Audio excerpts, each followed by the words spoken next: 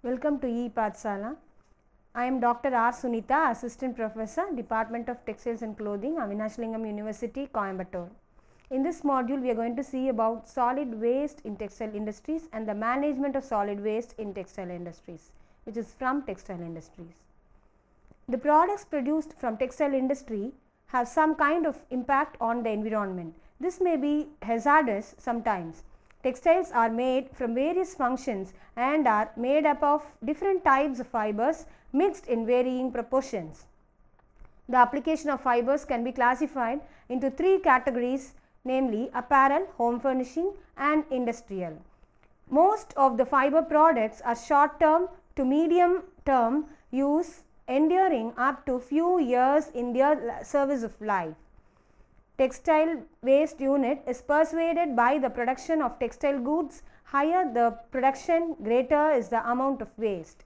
The growing consumption of products is an indicator of the increasing amount of waste generated in the world, which has increased environmental awareness and social responsibility, reinforced by strict legislation in developed countries, leading to the creation of more efficient waste management practices. Green consumerism has stimulated industries to promote an environmentally correct image to the public. Excellence program requires mills to set up awareness and action programs. The apparel manufacturers have instituted environmentally correct production processes and recycling programs. Waste. What is waste? Waste is defined as any product or substance that has no further use or value. It is perceived to be a problem for they harm the environment and human health, take up space for landfills and that the costs are increasing to the use existing and replace landfill and these are end of product life cycle that causes environmental impacts and depletes the valuable resources. What is a textile waste? The waste from textile community through various streams which includes fiber industry and clothing manufacturing industry, consumers, commercial and service industries. Textile solid waste belongs to the industrial and non-dangerous waste and is defined as waste of raw material referred to the fabric trims, scraps or parts rejected by defects in manufacturing processes or the clothing industry. Producing textiles is an environmentally damaging process as it consumes large quantities of natural resources like water, oil and they use toxic chemicals and generate large amounts of carbon dioxide. The waste can be of three kinds namely pre-consumer waste, post-consumer waste and industrial textile waste. Pre-consumer textile waste. The pre-consumer textile waste is the leftovers or byproducts from textile fiber or cotton industries. Pre-consumer textile waste is nothing but the manufacturing waste which is generated by processing of fibers, production of finished yarns and textiles, technical textiles, non-wovens, garment and footwear, including off-cut selvages, shearings and rejected materials. Pre-consumer textile waste is usually a clean waste. It is generated by retailers primarily in the form of unsold merchandise. The unsold merchandise may be sent directly to their own outlets or clearance centers. The textile waste can directly be sold to outlets or to jobbers or consolidators who in turn resell the merchandise to other outlet stores. Another disposal option is to send the textile waste directly to non-profit organizations. The last option open to retailers is sending the textile waste directly to the landfills. But this method is the least used as the waste still has a resale value. Next is the post-consumer textile waste. Post-consumer textile waste is the waste of fleece, flannel, corduroy, cotton, nylon, denim, wool and linen which have passed through the consumer market. It consists of any type of garment or sold textile such as sheets or towels which are discarded by the consumers for the reasons that they are worn out, damaged, outgrown, or have gone out of fashion.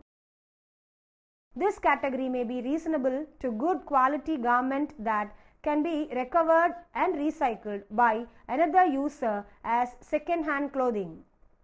Clothing that cannot be worn again may be shredded into fibers to be used into products. These items are given to charities sometimes and put in trash which ends in the landfills. Now the amount about held is recycled as second hand clothing. Non-profit organizations are around 40% of the estimated collected goods. The balance is sold to rag graders and export companies. The company who is a textile recycler and exporter primarily purchases from non-profit organizations, then processes and sells about 8,000 tons of post-consumer textile waste a year. This company handles different kinds of clothing, rags and wipers and recycles over 96% of the textile waste they receive. Industrial textile waste. Industrial textile waste is obtained from commercial and industrial textile applications, including commercial waste from properties such as carpets and curtains, hospital refuse, in addition to industrial applications such as filtration, conveyor belt, etc. Industrial textile waste is a dirty waste. Substantial proportion of these end of life goods are consigned to landfill. The vast majority of the solid waste stream is contributed by the post-producer waste from industry. Total post-consumer solid waste accounts for only 2% of the nation's total annual output of 11.7 billion tons. The textile waste worth to 1.5 and 1.9 billion pounds of new fiber and fabric wastes are generated annually by the fiber producers, textile mills and fabric manufacturers of this total apparel manufacturers contribute 450 to 600 million tons annually in the form of apparel cuttings. Sources of textile waste. Coming to the sources of textile waste, majority of the textile waste comes from household sources. The clothes discarded as they become unfashionable and undesirable. These are post-consumer waste that goes to jumble sales and charitable organizations. The household textiles coming to these organizations are sold and or donated. The remaining goods go to either a textile recovery facility or a landfill. Textile waste also arise during yarns and fabric manufacturing, apparel making processes and from the retail industry. They are the post-industrial waste. Apart from these textile waste, other waste such as PET bottles, that is polyethylene terephthalate bottles, are also used for recycling polyester fiber. Waste from textile industry includes fibers damaged during storage or manufacturing. Major solid waste from garments industry factories comprises fabric waste from garment cutting amounting to 10 to 20 percent of the fabric consumption. The sources of these solid hazardous waste include waste solvents from machine cleaning, unused finished materials and dyeing and printing materials. Some of these hazardous materials include metallic chlorinated solvents. Textile manufacturing processes like Warp preparation, weaving, dyeing, printing, finishing and quality and process control generates lot of waste during these processes. The major waste generated by this sector are fiber waste, yarn spinning waste, hard fiber, offcuts waste, packaging and spool.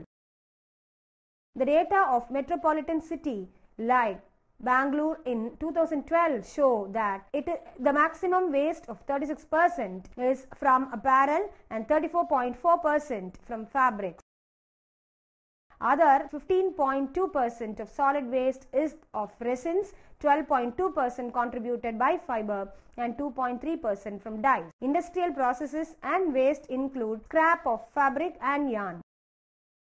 These are waste associated with the storage and production of yarns and textiles such as chemical storage drums, cardboard reels for storing fabric and cones used to hold yarn for dyeing and knitting.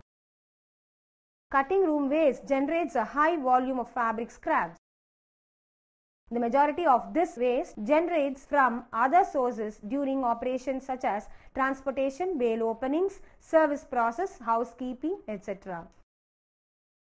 These wastes can be recycled. Lint waste can generate from many textile production steps, particularly from preparation, dyeing and washing operations. The lint removal is easy by filtration process. The filters must be cleaned periodically. The collected lint may be sent to landfill or incinerated. Higher quality lint can be marketed. Effects of solid waste.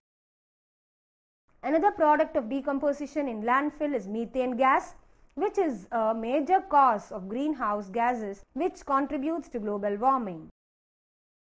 The decomposition of organic fibers and yarn such as wool produces large amounts of ammonia as well as methane. Ammonia is highly toxic in both terrestrial and aquatic environments and are toxic in gaseous form. Cellulose based synthetics decay at a faster rate than chemical based synthetics. In the past, textile waste has been incinerated in large quantities emitting organic substances such as dioxins, heavy metals, acidic gases and dust particles which are all potentially harmful to both humans and the environment. Waste minimizes options include reducing the quality of packing material, purchasing chemicals in returnable drums and purchasing yarns on reasonable loans. The need to reduce waste supply is necessary due to its accumulation. However, this process is considered long-term period which requires proper management in the short and medium term avoiding environmental and health problems for humans. As far as the medical textiles is concerned, the problem of disposal waste is that the reusable surgical textiles are demonstrating increased clinical satisfaction while also providing comparable barrier protection. And reusable table and covers, surgical towels, etc. drive down the costs by reducing the volume of waste generated. Reusable isolation gowns can reduce waste by 80% and can cost up to 50% less than the disposable. Reusable isolation or barrier gowns are engineered using microfiber technology that produces 100% polyester, tightly woven and fluid repellent fabric made of continuous filament thread. Isolation gowns protect healthcare workers from blood and bodily fluids. This provides comfort and allow for sterilization. It's available in several levels of protection on the other hand, single-use disposable isolation gowns generate 5 times more solid waste than a reusable product. Reusable surgical packs decrease the waste and costs when the comparison is made between the laundered pack and the disposable surgical packs which are thrown in trash in lot. There will be an increase in use of reusable surgical gowns and drapes as these seem to be cost effective as they don't cost much waste on hand. Recovery of textile waste. The practice of recovering textile waste is the old technique. The recovery units are gaining so much of importance these days, mainly in foreign countries.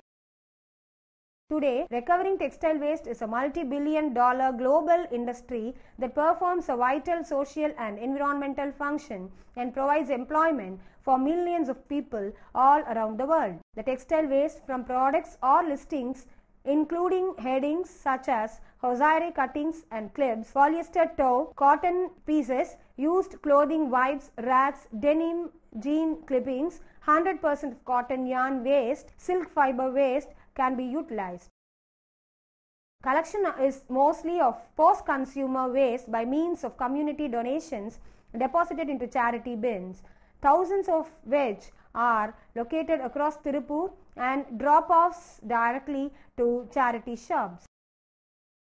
The vision of every organization and municipality is to recycle all its waste into usable products. Now we'll see about recycle. Textile recycling should be done for both environmental and economical benefits. It avoids many polluting and energy intensive processes that are used to make textiles from fresh materials. The Council for Textile Recycling reports that each year 750,000 tons of post-producer textile waste is recycled into new raw materials for the automotive, furniture, mattress, coarse yarn, home furnishings, paper and other industries. Reports say that 73% of the post producer fabric waste recycled annually, approximately 150 million pounds, are reprocessed into fiber, 200 million pounds are sorted for color and exported to be respun, and 100 million pounds are used to make wipers. About 75% of the post producer textile waste is recycled instead of disposed in landfills. By doing this, the requirement of landfill space is reduced. Textiles lead to many problems in landfill. The synthetic fibers do not decompose. Woolen garments do decompose but produce methane which contributes to global warming. Pressure on fresh resources too is reduced. This leads to balance of payments as we buy few materials for our requirements. As fibers get locally available, they don't have to be transported from abroad, thus reducing the pollution and saving energy. Lesser energy is consumed while processing as items don't need to be re-dyed or scoured. Wastewater reduces as it does not have to be thoroughly washed with large volumes of water as it is done for say raw wool. Demand is reduced for textile chemicals like dyes and fixing agents. Textile recycling is the reuse or reproduction of fibers from textile waste. The worldwide recycling industry performs most important social and environmental functions. The various stages of recycling process provide significant employment around the world. The garment or household textiles can effectively be recycled by sale or gift to another user. The UK based Recycling Association estimates that up to 95% of the textiles that are landfilled each year could be recycled.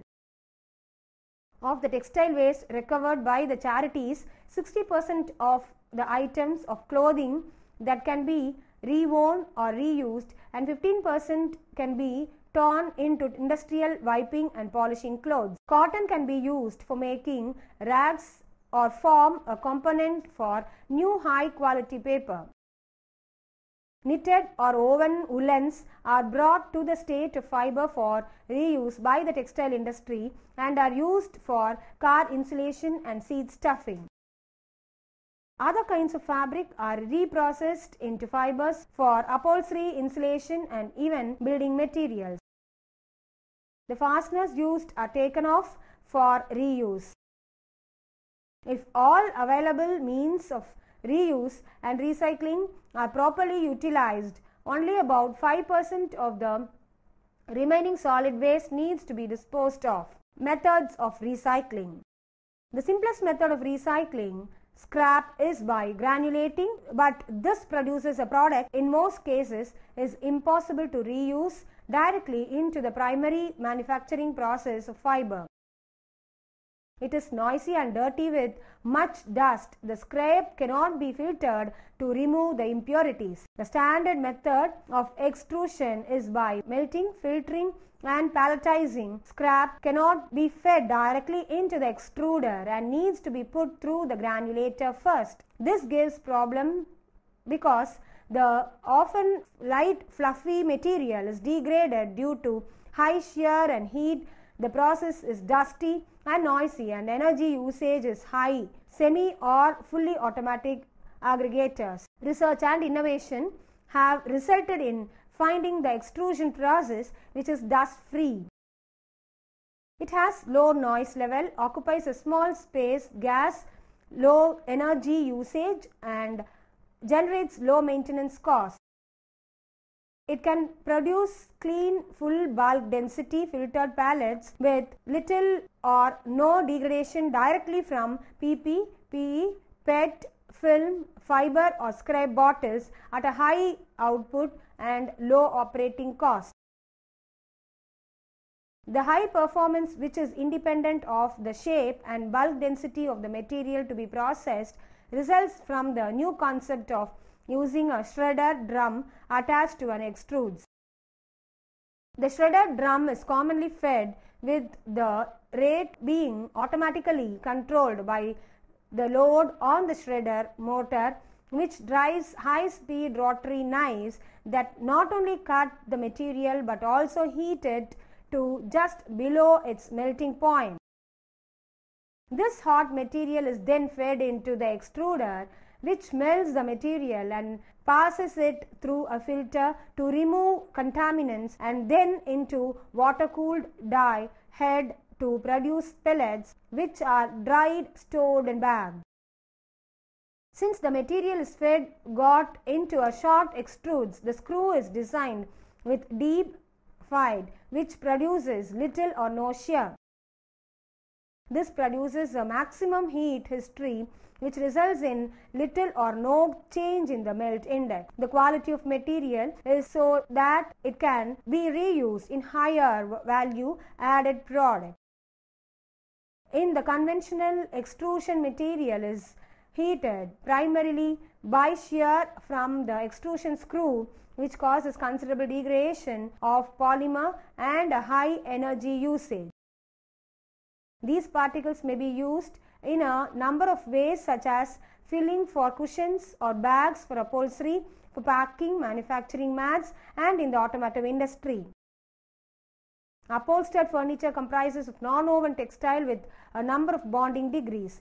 They are also set up as textile cover material non-wovens used in areas well below the surface are made from the reclaimed fibers.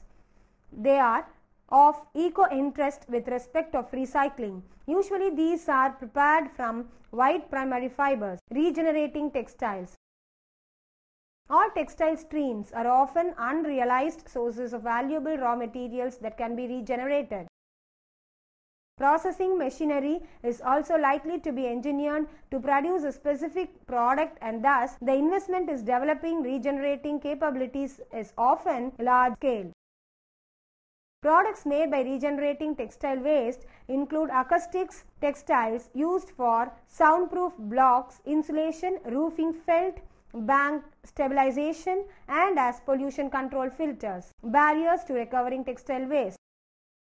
There are numerous political, economic, social, technological, environmental, legal and institutional barriers to the improvement of resource recovery in certain places. They are knowledge, finance, research and development, community awareness and facts and figures. One of the barriers faced by the company and is in search through design and product development is consumer resistance against innovations such as recycled yarn. Solid waste management.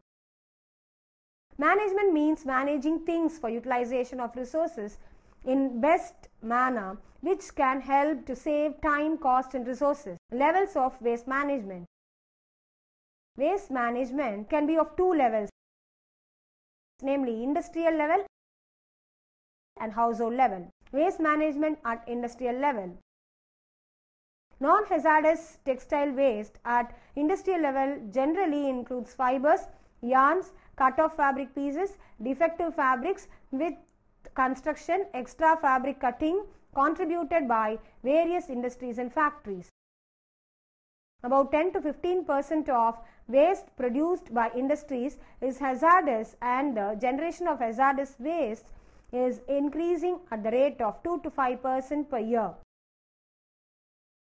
Pure white cotton fibers may be converted to super absorbent polymers by chemical modification and can be used for production of medical textiles that is in diapers. With low quality material, there is another possibility for developing super absorbent agro textiles for water storage and controlled water release for plantation in arid and desert land. It may be possible to produce cellulose in the powder form, which can be used as fillers or for blending with other polymers for developing a composite material. Wool fibers normally recycled by blending with new wool to produce new textile product. The final product may be little harder but surely long lasting. Polypropylene, which is widely used in the production of sportwear, can be reprocessed by producing pellets, master batches, and further molding into different plastic components. Sludge management in textile industry is a major problem due to its surplus volume. Typically solid waste management is mainly to remove the waste by carrying them out of the city boundaries and dumping them and there.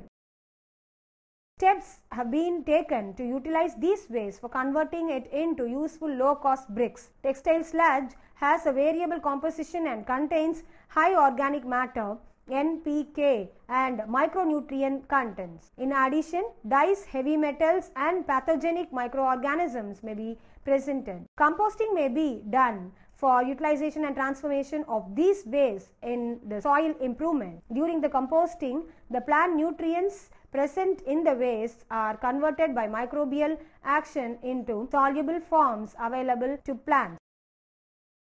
Composting also increases or eliminates the toxicity of textile sludge. Vermicomposting is commonly used for the management of organic waste. It was investigated that the potential of an earthworm biological treatment with activated sludge was found to be more efficient and reliable in terms of organic matter removal than chemical coagulation for the treatment of textile processing industry waste. Benefits of reducing waste at industrial level.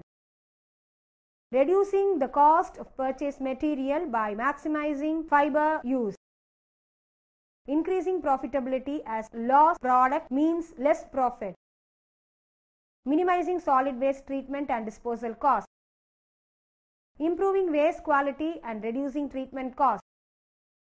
Reducing environmental impacts by reducing use of raw materials and producing less waste. Waste management at household level. Hazardous waste at household level generally includes products like paper, aluminium cans, metal, steel cans, tires, batteries thrown by the local public. Factors at household level contributing to the environment pollution are as follows. Increased income. With the increase in income, luxury budget of individual have increased which has led to more discarded clothes contributing to the textile waste. Dynamic nature and fashion. Because of this nature of the fashion, people tend to discard the clothes more often to acquire new fashionable garments, worn out clothes. Normally, worn out clothes are discarded without any recycling or reuse. Suggested measures at household level.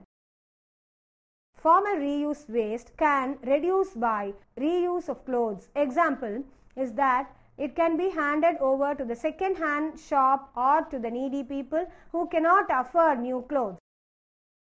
Semi formal reuse. Selling on website. Example for this can be that the children inherit clothes from siblings, friends, sharing clothes, making the products by reusing discarded fabric or clothes. Waste minimization actually offers the best possibilities for environmental aspect of sustainable development by reducing the resource use and avoiding production of waste. Recovery, trade and recycling activities are the steps in the waste management. Any important difference in evaluating the value of such waste follows is that made between unmixed sources of waste. So, let us summarize uh, and conclude our um, uh, this module by uh, saying that textile industry is one of the most polluting industries. Not only production but consumption of textiles also produce waste. To overcome this problem, textile industry has taken many measures towards the environment. Textile waste recycling will be will become ever more important. The engineers are trying to innovate economical recycling processes which also included the textile field. There is an opportunity to develop knowledge networks to develop pre-consumer waste and resulting uh, products. Maximizing waste diversion towards recovery and recycling is the waste primary environmental goal at this point is not well developed among the local authorities and citizens. Rather, their activities take place mainly in a private market content. Therefore, evaluating value is currently the only method we can use and expect to what extent recovery of waste materials is likely to increase when then incentives are changed. With growing attention to the environment, responsibility towards solid waste management, the textile and apparel industry has expanded its efforts to reduce the disposal of post producer textile waste in landfills. Consumer education must be encouraged to stimulate the appreciation for the value of textile recycling to the environment as well as one's own personal economy. They should be informed on different types of textile products conductive to recycling benefits of recycling certain apparel items and potential outlets for disposing of the textile products.